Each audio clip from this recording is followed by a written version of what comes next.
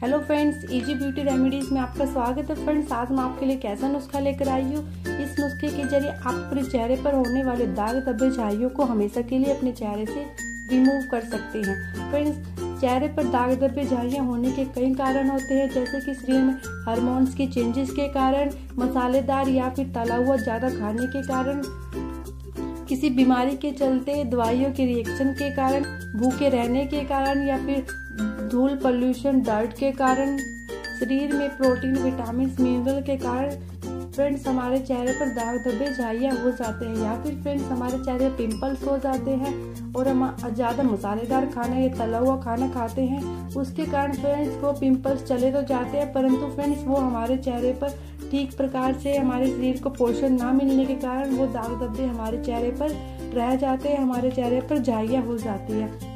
तो फ्रेंड्स आज मैं आपको एक नुस्खा बताने जा रही हूँ। इस नुस्खे के ज़रिए फ्रेंड्स आप अपने चेहरे से आसानी से दाग धब्बे झाइयों को रिमूव कर सकते हैं।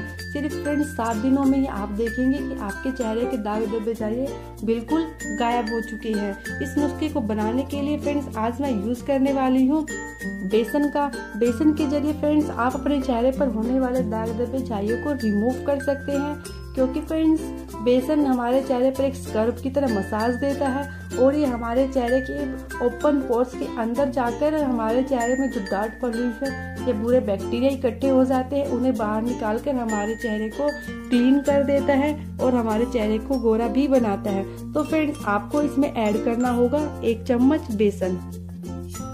अब फ्रेंड्स इसमें हम सेकंड चीज़ ऐड करेंगे, वो है friends rose water rose water भी फ्रेंड्स हमारे चेहरे के लिए बहुत ही फ़ायदेमंद होता है।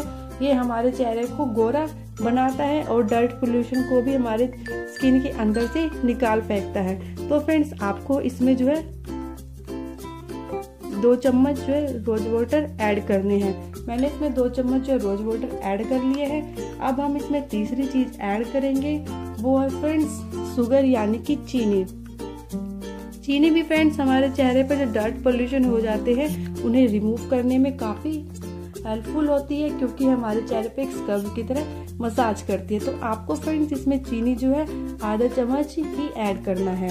अब हम इसमें फ्रेंड्स चौथी चीज़ ऐड करेंगे, वो है फ्रेंड्स मलाई। आप फ्रेंड्स मलाई की जगह कच्चा मिल्क भी यूज़ करते हैं, कर सकते हैं, क्योंकि फ्रेंड्स कच्चा मिल्क भी हमारे चेहरे को ग्लो करता है, जो धूल पॉल्यूशन डर्ट हमारे चेहरे पर जमा हो जाता है, उसे हटाकर हमारे चेहरे को ग्लो करता है, जो झाइया हो जाती है झूझे पड़ने लग जाती है, उन्हें भी रिमूव कर देता है।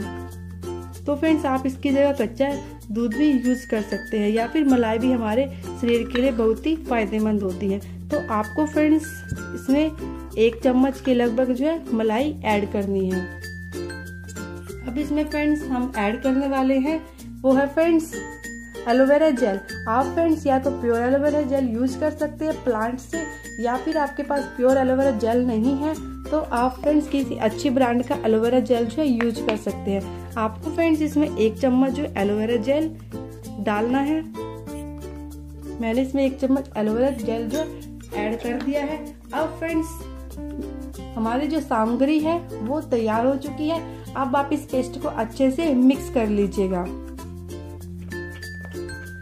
आपको फ्रेंड्स ये एक गाढ़ा पेस्ट जो है बनाना है, ताकि ये हमारे चेहरे पर एक पैक की तरह लगा सके हमारे पैक की तरह हमारे चेहरे पर जो है काम कर सके।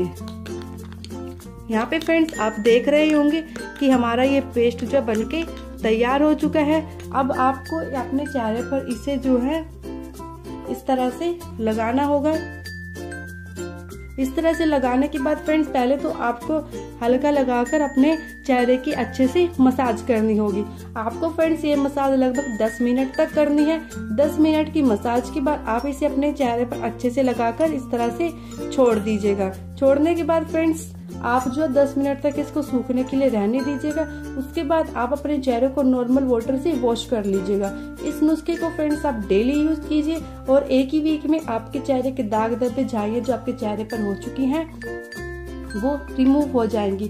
तो फ्रेंड्स ये था मेरा वीडियो आज की वीडियो में इतना ही। अगर आपको फ्रेंड्स मेरा ये वीडियो पसंद आए तो मेरे इस वीडियो को लाइक कीजिए। इस वीडियो के ज़रिए कुछ जानना या पूछना चाहते हैं तो आप कमेंट बॉक्स में कमेंट करके पूछ सकते हैं। और फिर जाते जाते मेरे चैनल को सब्सक्राइब करना ना भूलें। धन्यवाद।